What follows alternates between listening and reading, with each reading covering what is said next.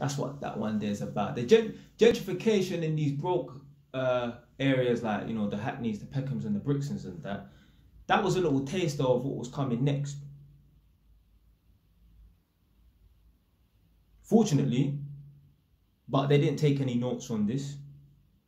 The people that were subjected to gentrification, you know, the people them that live in Hackney and all these places and that that can't really afford to live in that area no more because of the rise in just general day-to-day shopping and that in the area, they got to experience it.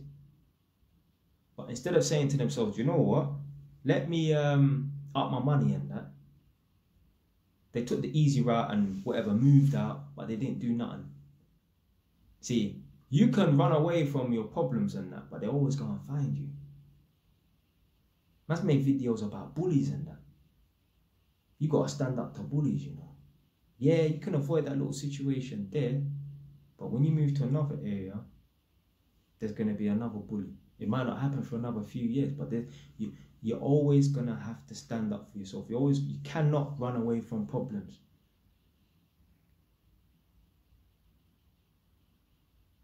I know someone. They had nothing going on in the UK. They're from London. They decided, I'm gonna go to America to wing it, you know. Wing it, you know. No plan, you know. I'm just gonna go to America to wing it.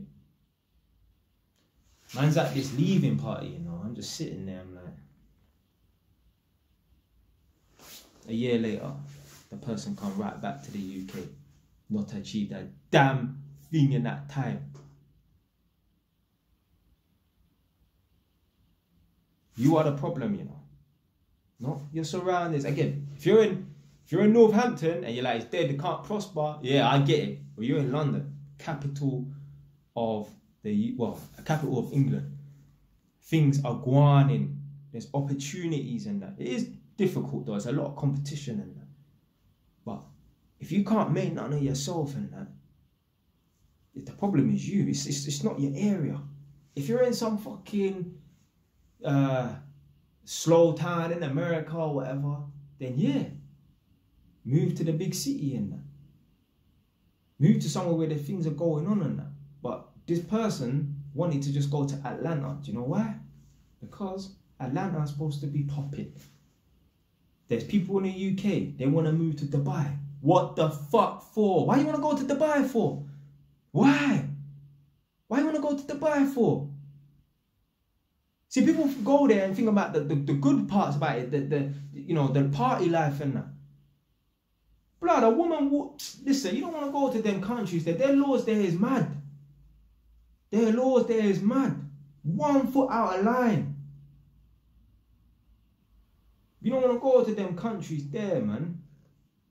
You don't, I, I, don't get it twisted. I know someone's gonna come in the comment section. Well, you shouldn't be going out there to commit crime. I'm not saying that. What I'm saying is, fuck, man, want a little leeway in that. Man, don't wanna uh, jump a red light and get shot in my head or something like that. You get me? If I jump a red light, I just want a part. I want a, a, a fine or something. I don't want to get licked down by the police and that. Them some of them Middle Eastern countries is mad. I don't know about Dubai 100% like how strict they are. I know I know they're strict though, more stricter than the UK. But I know a man who's from Iran. His missus went out on her own alone, and you know what Iranian people look like. They got kind of like Arab skin, tan skin. Some of them are, are, are kind of dark, so maybe like a light Indian complexion. But yeah, his wife went out. She was wearing nude. You know, like kind of like brown, browny nude trousers. From a distance, the police came rolling up to her to arrest her, you know. They thought she was naked. She's like, no. They was like, oh, you know what? It looks like you're naked. So they arrested her, you know. They took her to the police station. The man had to go and get his wife and bring clothes for her. Because you're portraying the image of being naked, you know. So you're not even naked, it just it perception. Mad. And these are the countries you want to go out to, you're fucking mad. You're fucking mad. Me, I got a fucking studio flat in Egypt. When I was off during the COVID period, I was thinking, yeah, go out there. I was like, no, fuck that, man. Come to my senses. You think I want to go to uh, one of them foreign man countries where there's trigger happy and that? You, you didn't hear what they was doing with the hotels and that. I mean, they're doing it in other countries as well. But the man they're standing outside hotels with M16s, you know, not letting anyone leave the Rascal Hotel. I'm not putting myself in that position there. I'm not having no one. What? That's basically kidnap. That's basically fucking kidnap. Anyway, the rise in house prices and that, I'm sorry, um, day-to-day living, yeah, is here to stay. What the fuck are you gonna do about it? Are you gonna work overtime?